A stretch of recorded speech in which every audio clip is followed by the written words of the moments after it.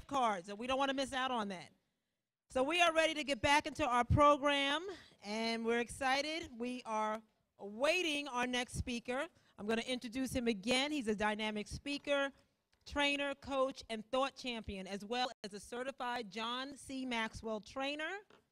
And um, he is getting ready to show us, ladies, how to jump into the driver's seat of our success. So all the way from Cincinnati, Ohio, Let's welcome Karim Ellis.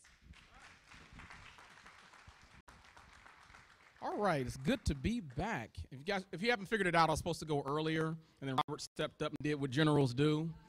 And I was a little bit worried because I had worked six hours on this presentation from coming in from Cincinnati. Somebody tweet the devil's a liar. All right, all right. Okay, I want to talk to you guys today about a concept that the Lord's been putting on my heart for a long time called empowered to drive. And it's kind of funny because this concept really mirrors the usage of a car. In fact, our lives kind of run the route of, of a car. You know, the way I figure it is cars have several different gears. You got park, you got neutral, you got reverse, you got drive, you got overdrive. And so when I look over the, the seasons of my life for the last 10 years, for every season or every storm I've been through, I can pick one gear to represent it. I've been through situations over the last 10 years where I was homeless, sleeping out of my car for about three months. I went through a situation at the age of 26 where I had to move back home and sleep on my parents' couch. That definitely didn't make me feel like a man. I was even so disgusted with myself because I gained 30 pounds. You can't tell it now because I've been doing that P90X. but I gained 30 pounds. I hit the man boobs. I was probably about a good B cup or C cup. And I couldn't stand the face of the person I looked at in the mirror every day to the point where I was this close to taking my own life. But if it wasn't for God, if it wasn't for God. So, what I'm going to do here is I'm going to take this concept called empowered to drive, and I want to ask you this all important question What gear are you in? If I had to look at your life right now, what gear are you in for this season of your life?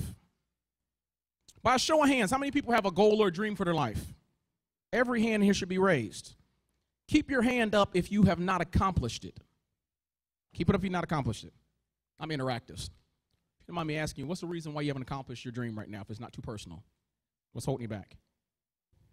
She said finances. Who else had their hand up? Fears. She said fears. Let me get somebody on this side of the room over here, lady with the hat on, because I love that hat. Okay, she's saying it's the process. What we got over here? Yourself. Wow, powerful. She's saying she's standing in the way. Wow. Wow. Okay, what I'm going to do is this I'm going to give you five powerful principles that's going to help you get unstuck.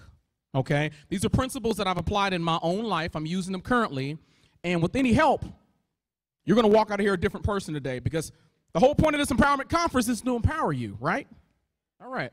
Okay, so let me give you a little bit of information about me because I live by one principle that's real firm in my life. Who do you listen to? Because in today's age, we get a lot of people to give you unsolicited, unwarranted advice. You got everybody trying to tell you what to do with your life, with your business. And so I'm a believer that if you're going to tell me something, you better be able to show me the spoils of victory. See, back in the days when a king would send his general out, general had to bring back spoils of victory to make sure that he really did what he did. David had to bring back some foreskins to show proof to Saul what he accomplished. So let me give you background on me. First of all, I'm an award winning motivational speaker. I'm a teacher, I'm a trainer, I'm an entrepreneur. I've been an entrepreneur for over a decade, both in real estate and obviously in the speaking side of the business. I'm founder of the Dream Big Academy, where we take folks' goals and wishes and we teach them how to use their gifts and talents to accomplish what they want. I'm currently president of two Toastmasters clubs. They're speaking organizations. Anyone here belong to a Toastmasters club? All right, there we go, back in the back. Let me tell you something. If you want something in life, you better you better know how to actually speak on it. The most powerful tool you have is your mouth because your mouth gives life and death over the things that you want. You better learn how to use your tongue. That's what it's there for. And I'm also a certified John Maxwell trainer, as mentioned earlier. Now, John Maxwell is the foremost leader when it comes to teaching leadership. Maxwell has put out 70 books. He's 67 years old. I celebrated his birthday with him in February of this year. That means he's put out a book for almost every year of his life. Profound. And so I teach companies and organizations and businesses leadership skills. And there's something here that I want to really share with you. It kind, it kind of, it's not really empowered to drive, but it's something I really, really want to deposit on your spirit. The Lord's put it on me. It's something called the seed principle. And it states that the seed that's properly planted stands the chance of maturing into the tree that God designed it to be. The seed that's properly planted stands a chance of maturing into the tree it's designed to be. Can I have two lovely women from the audience come up here and, and, and, and work something out with me real quick? Got one right here? All right, let me get one more person. Come on, someone, be quick. All right, okay. All right, ma'am, your name is? Nicole. Okay, we got Nicole right here and Dolores. Dolores. Okay, so I'm going to have you stand on this side of me, all right? And on my desk, I keep an actual canister full of these acorn seeds because it reminds me every day of the seed principle. All right. Now, here's what's so profound about this: is this seed doesn't know how to do anything else but transform into a tree. That's all it knows how to do. It doesn't know how to add. It doesn't know how to subtract. It doesn't know how to talk. All it knows how to do is transform into what it was designed to be, and that's a tree. Now, in order for that to transform transformation take place, it has to first be planted. So what I'm going to do is this. I'm going to give you a seed, okay? And I'm going to let you go plant that in the middle of the North Pole. In the middle of the North Pole. I'm going to pay for the trip, but I'm going to send you to North Pole to plant the seed there. And then what I'm going to do with you is I'm going to have you take this seed, I'm going to have you plant it in the middle of the Mojave Desert. And I'm going to pay for the expenses to get you out there. And then since I don't like to travel, I'm going to plant my seed right here in New Jersey. See, here's what's so profound about planting a seed. In order for that seed to transform, not only does it have to be planted, but it has to be planted in the right environment. She can plant her seed in the North Pole, but the weather and the climate is not conducive to that seed transforming into what it's designed to be. And she can plant her seed in the Mojave Desert. But again, it's not conducive to do what it's designed to do.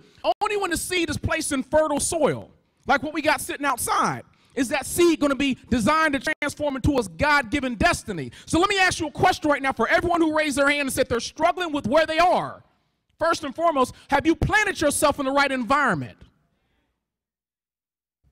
This seed can sit on my desk for 60 years, and I can plant it on year 61 and it'll transform into a tree. But look how much time has gone past. You have to be cognizant of where your seed is planted. Many of you are at jobs or in relationships and situations where you were never designed to be there. And that's why you haven't transformed into what you were designed to do. What's your purpose? Thank you. I actually want you to keep the seed. I want you to remember it. Okay? All right. Awesome. Awesome. Okay. The reason why this concept is so powerful is because one of the reasons I'm in front of you right now is because mom knew that lesson at an early age. That's my daughter on this side over here, Brianna. She's 17, and that's my mom, Evelyn, right there. And when I was born, mom took me at an early age and she taught me how to read and write before I entered kindergarten. So the way I'm talking to you now is how it was when I entered kindergarten. When my kindergarten teacher found out I can talk like this, she would take me, sit me in her gigantic rocking chair, give me her storybook, and have me read stories to the rest of the class. So I got all 12 of my peers, Indian style, listen to me read Red Robin Hood, all these other little fables. By the time I got into first grade, they said, hey, he's performing at a higher level. So they tested me and they bumped me up to second grade. So I was always the youngest in my age, but I was extremely smart. Mom knew my gift and talent at an early age, and she did everything possible to plant that seed in the right environment. How many mothers do we have in the room right now? It is your duty it is your duty to know what your child does exceptionally well. It's not the school's job. It's not your neighbor's job. It's not the government's job. It is your job to make sure that seed gets planted in fertile soil. And it's also your job to make sure you prune around that seed on a daily basis. We got too many seeds rolling loose into the prison system. Many seeds rolling loose into the crack system. It's your job to protect that seed no matter what. So make sure you understand the concept of the seed principle. Okay, so empowered to drive. What gear are you in? By show of hands, or just anyone who want to randomly shout it out. What major event happens when you turn 16 years old? What's the major event that happens at 16? Driver's license. Uh oh, we got somebody up there. So you know, if you deal with me, I like to give out stuff. That's why I want you to participate. I'm gonna pass it on down. All right. 16, you get your driver's license. And this is so profound, ladies. This is so profound because I, have taken tons of horrible license pictures. I finally got one right. It's okay. It's not as bad as it normally is. But here's what's so profound about this. Does anyone here know what the word license means? Got to know your words because words are power. She got it right. I got a sucker for you when I jump back on stage. I'm sweating, so I want to keep I'm trying to stay cool.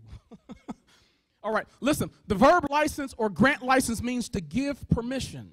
That means when you get a license in anything, that gives you permission to go forward with it. If you have a license to practice law, got permission to do it. If you have a license to practice medicine, you got permission to do it. If you have a license to practice real estate, you got permission to do it. Here's what's so funny to me. We get our licenses renewed every four years. And no one has to tell me to go out there and drive my car once I get my license. But I run into so many people that tell me they have goals and dreams for their life. They've got the license because God gave you the permission the moment you asked for it but they won't go out there and drive the car. What is holding you back? You have permission to go after anything that you want. Nothing standing in your way. There is nothing standing in your way, and we're going to go through these principles to prove it.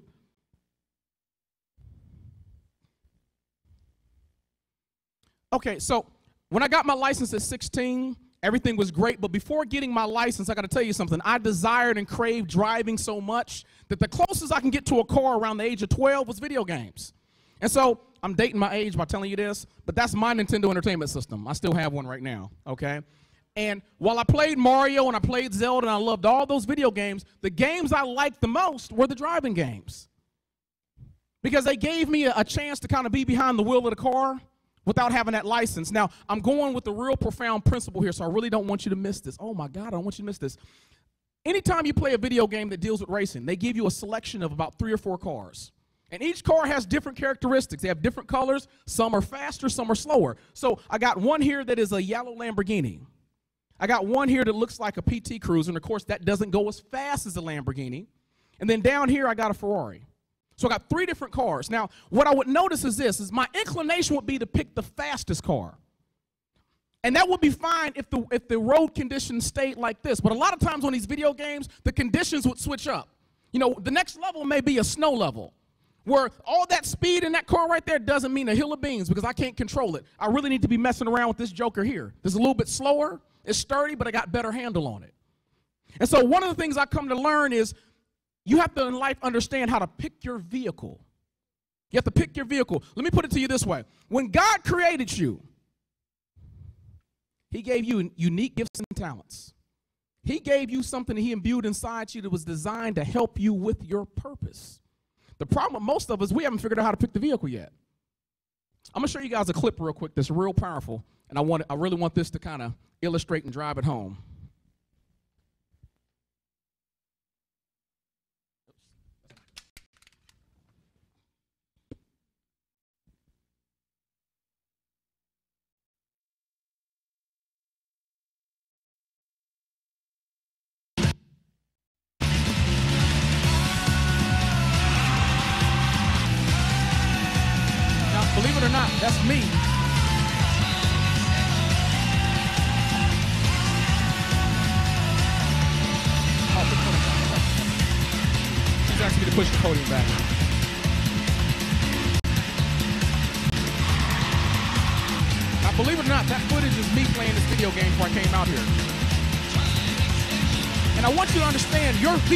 Your unique gift and talent. That very thing God gave you that you're supposed to excel in. You're the driver inside that vehicle. So you have to control that gift and talent. See, what I learned at an early age when I was a child, I was always an exceptional speaker. I never had an issue speaking. But I had to learn how to control that gift and talent because God gave me that provision for my vision. Is that making sense to you guys? Is that making sense? Okay, because I, want, I don't want to lose anybody on this this is powerful. Listen, for every vision you have in life, God is giving you provision. There's two types of provision there's internal and external. Internal are your unique gifts and talents. Whatever He gave you that you do exceptionally well, that's your unique gift and talent. The external provisions are the folks He decides to surround you with. Let me give you another point to drive it home. One of my favorite teachings is the teaching about the cheetah principle. A cheetah has the gift to run 70 miles per hour. There's rarely any animal on this planet that can pull that feat off, and they can do it in under three seconds. When I went out in the parking lot, I saw some cars out there that don't look like they can go 70 miles per hour in three seconds. So the cheetah can go 70 miles per hour in three seconds, and it does it on instinct. That means when opportunity arises, it doesn't think about, do I go after it? It just does it on instinct. Why are you not using your instincts right now? That's powerful. And here's the other issue I've never seen a cheetah run 70 miles per hour, capture its prey, and as opposed to take it home and enjoy the spoils of victory, make a small detour over to the local lion's den, lay that food at the foot of Mufasa and the rest of the lions, step back, let the lions have their fill, and when the lions are full, Mufasa motions to the cheetah and says, Come on over here. I want to thank you for all your hard work and effort. The way you chased that prey was wonderful. Left you a little bit of leg over there, a little bit of tail over there, some rib in the back. Enjoy yourself. We'll see you here tomorrow, same time, same place. I've never seen a cheetah do that. If you can point out a cheetah that does that, I'll give you $500 right now. If a cheetah smart enough to understand its gift and talent was given to it to make his way possible, why are we guilty of doing it every day? We take our unique gifts and talents, we trade them for a paycheck, we trade them for less than what God created them to be for because no one's woken us up. What's your gift and talent right now? Who's profiting off of it? If your spirit is pricked right now, that means I'm talking directly to you. God created you to do more than what you're doing with that gift and talent. And there's going to be accountability for it at the end of time. What did He design you to do? What's your purpose? I'm in front of you right now because I'm walking in my purpose. This is my gift and talent. When I was a child growing up, I got in trouble not for bad grades, but for talking too much. Okay? That was my gift and talent at an early age. It's not by accident I was reading to those kids. That was my first audience. What's your gift and talent? Because whatever it is you do exceptionally well, you've been doing it since the beginning of time. It's been with you since the time you came out the womb. And I implore you to find that out with your kids. What's your gift and talent? Let's talk about the next topic. This was my first car. Now, I, got, I ain't gonna lie to you guys. When I got my first car, I had this dream I was gonna get this nice Cadillac, this Lincoln. I thought I was gonna get something real nice. I can lay back the seats back a little bit, roll. Dad said, Yeah, right, that's not gonna happen. My first car was a 1984 Ford Escort EXP. I graduated in 93. I got the car in 94. Now, I wasn't mad because I only paid $500 for it and it only had 800 miles. So, in my blue book value, be gone. I, it's only got 800 miles on it. I can roll with it. But there was one slight little problem with this car that no one told me about. It was a stick shift. How many stick shift people we got here? Raise your hand. I'm telling you, ain't nothing like an automatic. See, the, the difference is this when you got an automatic, you don't have to do no work. You can talk on the phone, you can text, you can break the law. You can drink, you can do whatever it is you want to do, get a little sip of your, sip of your drink, or not, not alcoholic, obviously, but you can take a sip of whatever you want and drive and get to your destination without thinking. But you can't do that with a stick shift.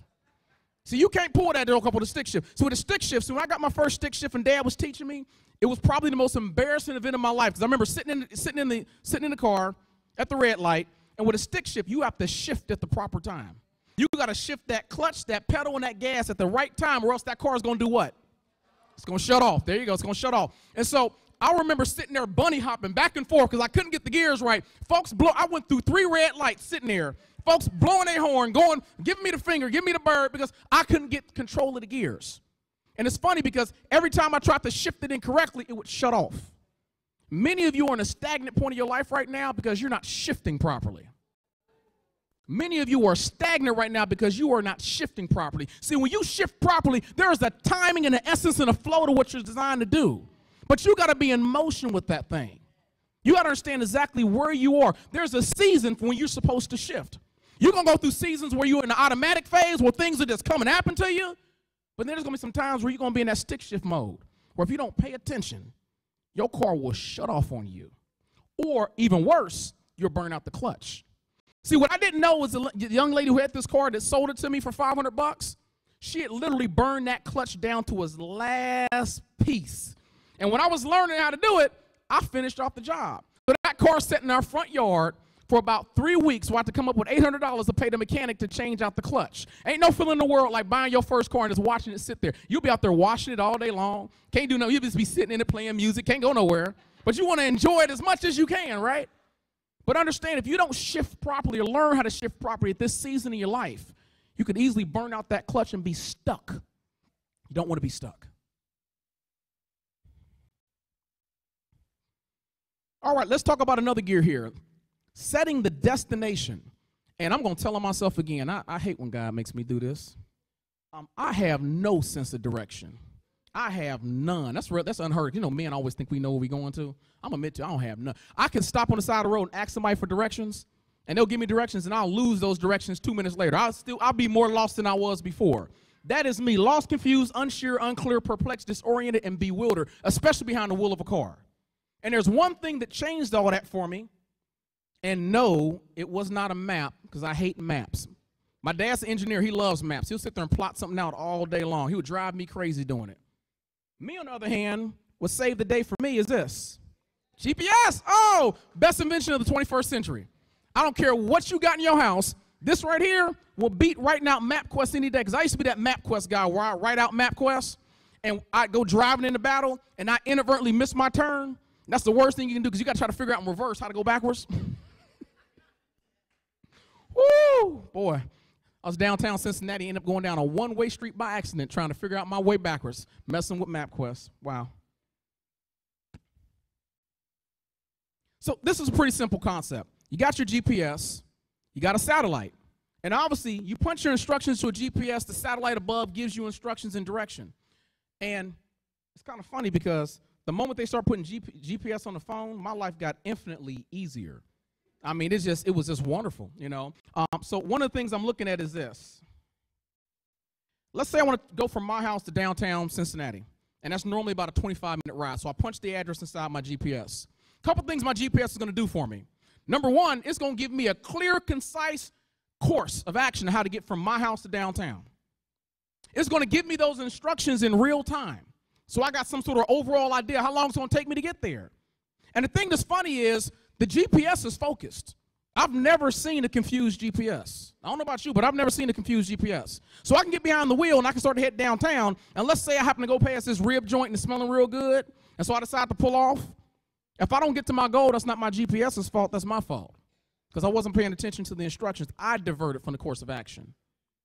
GPS gives me a real time frame of how long it's going to take to accomplish my goals. See, when I've coached a lot of people in the past, I've learned that a lot of people give up on their goals because they have an unrealistic time frame of what it's going to take to get there. You're not going to get a four-year degree in three months. So don't get frustrated when it doesn't happen. I see so many people that have unrealistic approaches to what they want, and then they get frustrated at life and they voluntarily walk away from their dream because they didn't have a, a proper assessment of the time frame.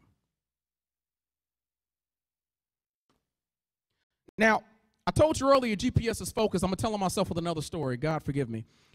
I'm a Christian man, but you know, we all have our moments. I was going downtown, punched the address in my GPS, and as I'm going downtown listening to my gospel music, this guy swerves and cuts me off.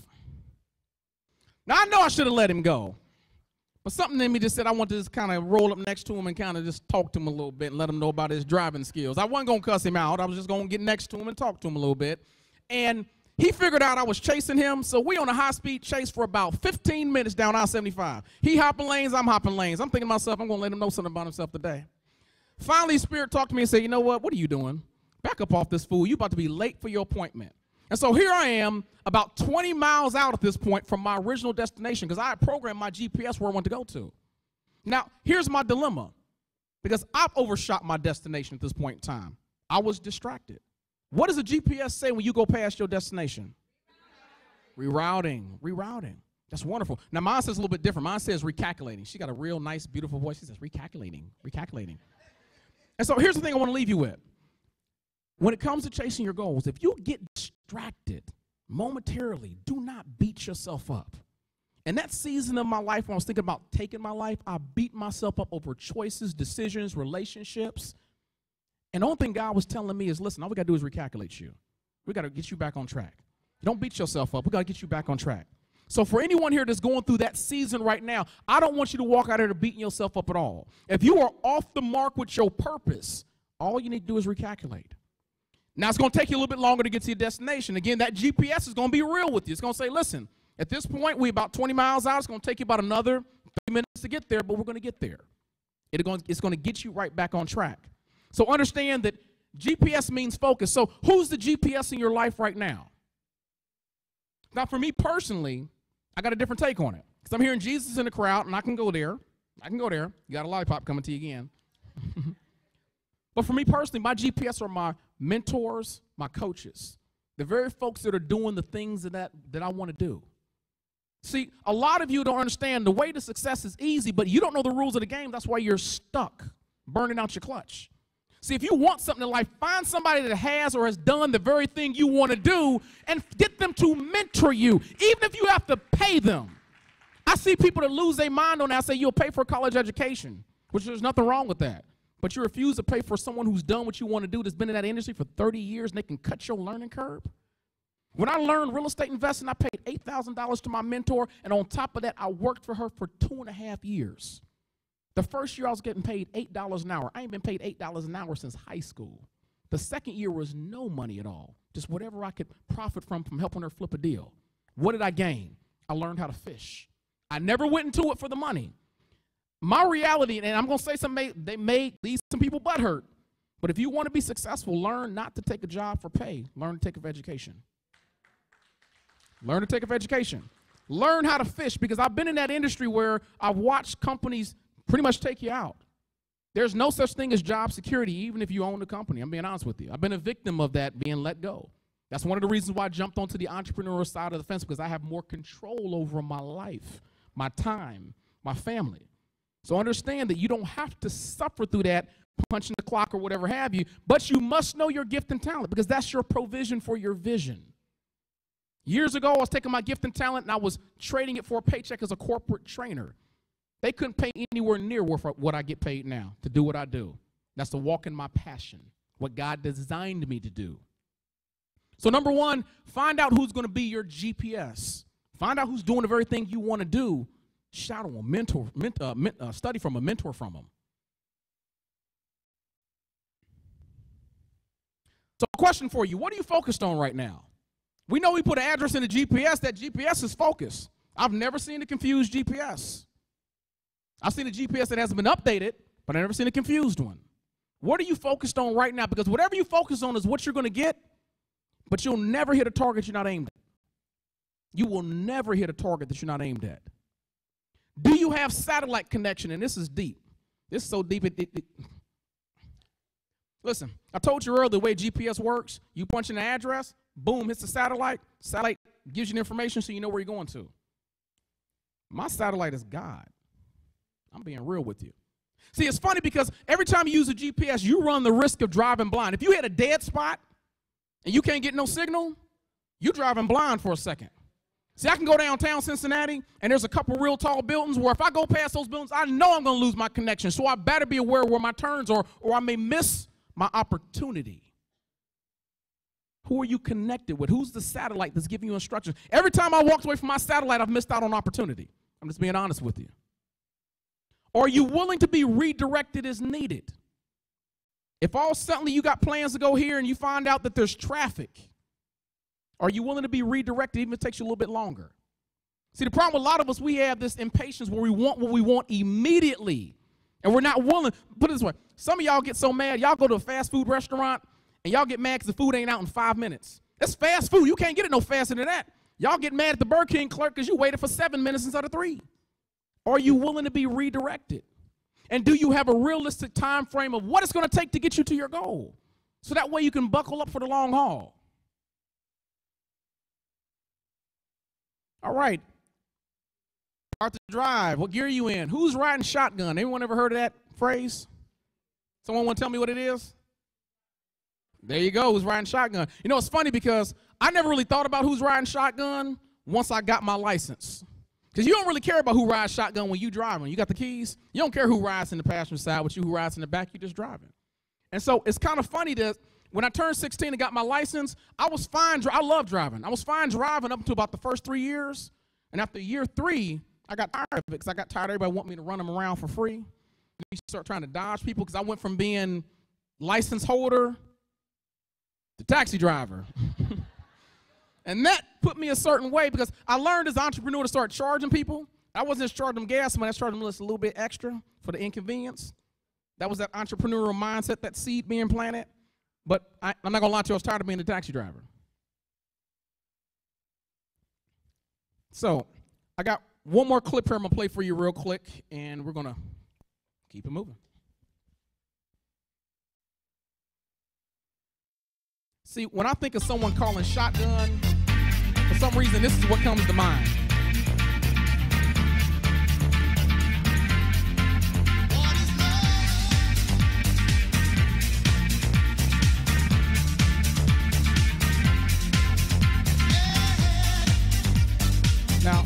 I know it's hard to see, but that's definitely a distracted driver.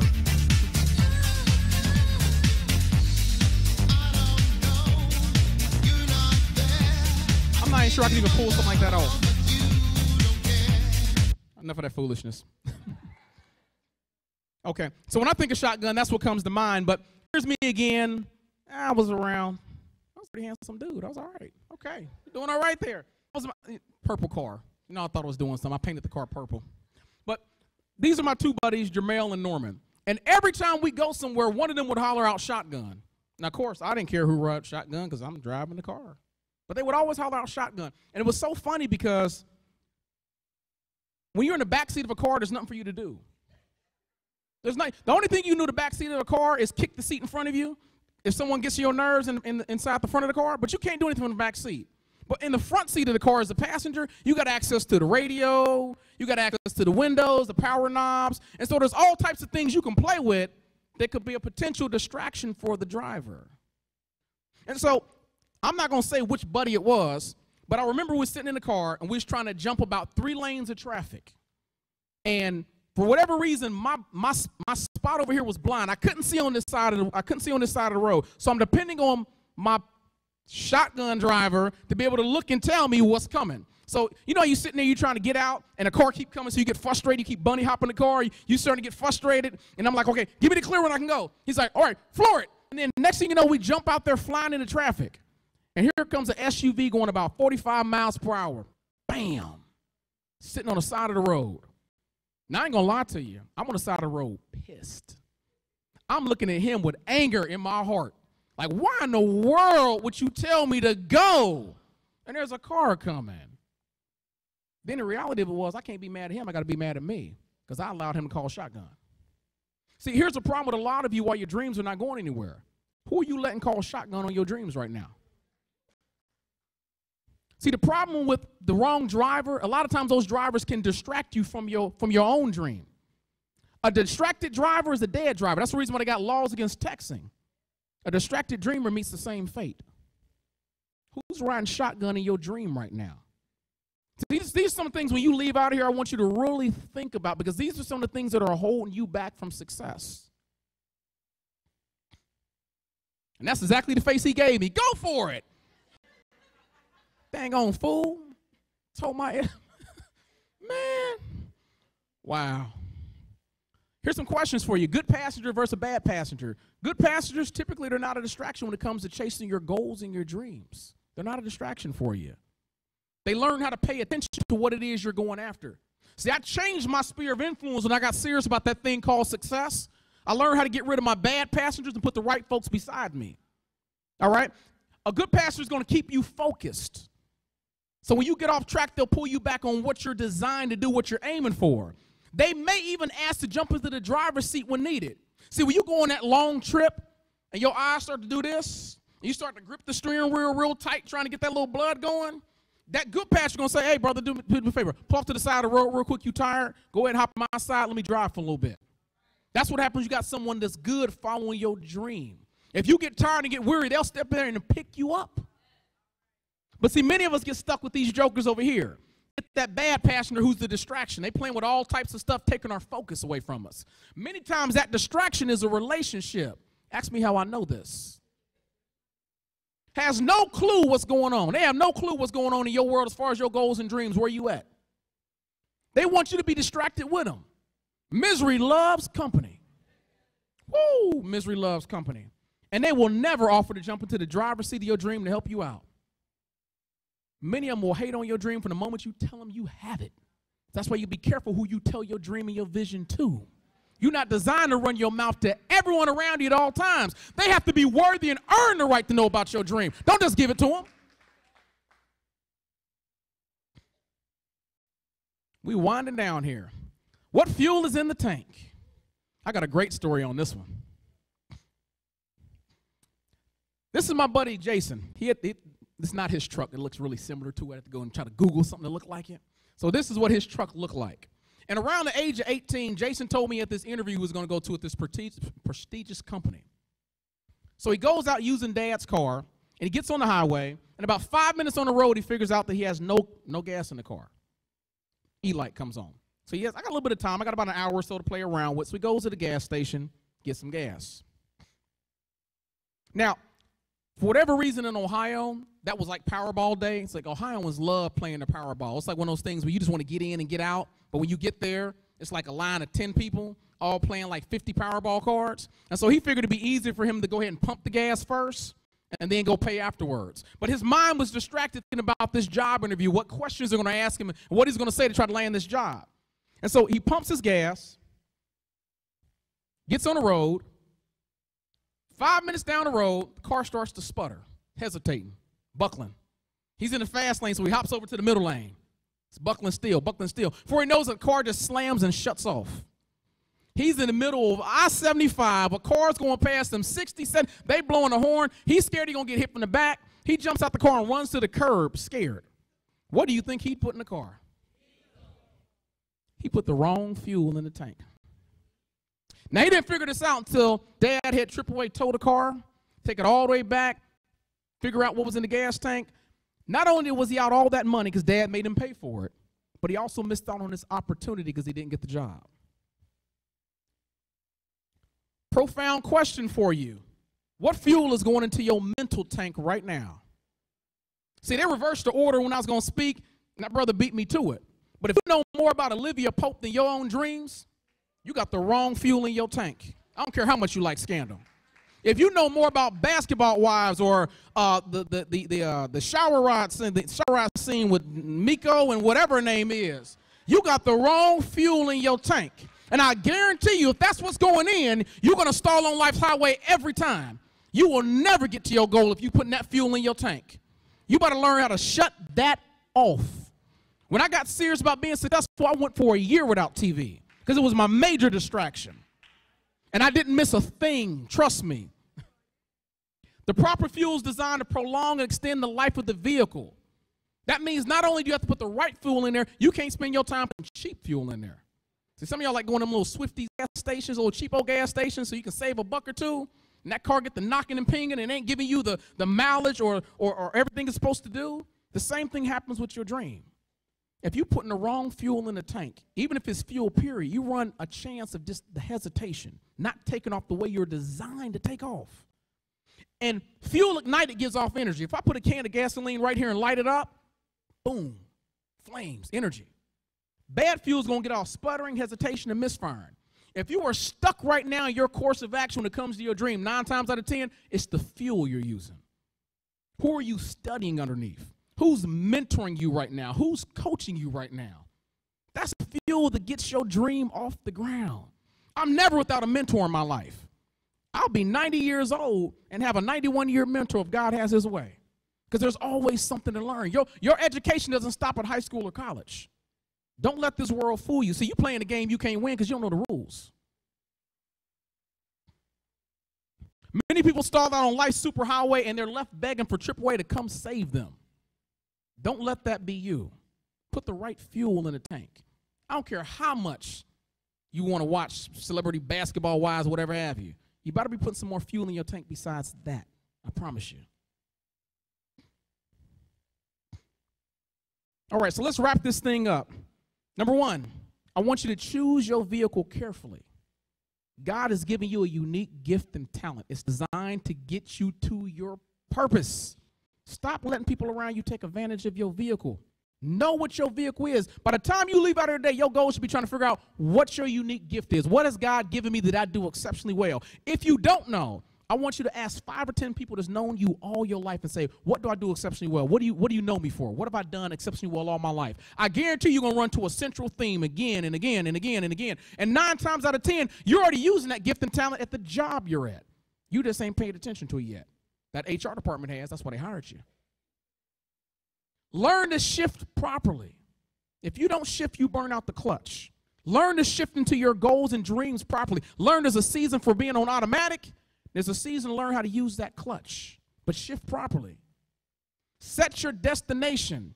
You shouldn't walk out of here today without knowing where you're headed to. Every single one of you get in your car, you know where you're going to. You leave out here, don't you? Where do you want to go in life? Got one life to live one shot to get it right. What are you putting in your GPS right now? Where are you headed to? What's your purpose? What were you designed to do? And who's riding shotgun? Don't be like that guy that goes, hey, go for it. who's riding shotgun with you right now? Are they a help or are they a hindrance? And are you putting the right fuel in the tank? What goes in is what goes out. I have a humongous library. I'm, I'm an avid reader. I've always been. Mom raised that seed to love books, but not just books, the right books. You can't put all that filth in your mind and think you're going to get a great result. Y'all talking about that graze, whatever it is, man, listen, y'all going put the right fuel in your tank. y'all have the right seed planted. Every four years, you renew your license. That's my license that expired in 2013. I didn't look too happy, did I? As I moved into my purpose, I got a smile. That's my new license. That gives me permission to go after my dreams. Every day you wake up and take a breath, that's your permission to go after what you want in life. And don't you ever let anybody tell you different. Guys, I double dog dare you to dream big. If you need to get a hold of me, all my information is on the board. Just Google me. My name is Karim Ray Ellis. Thank you.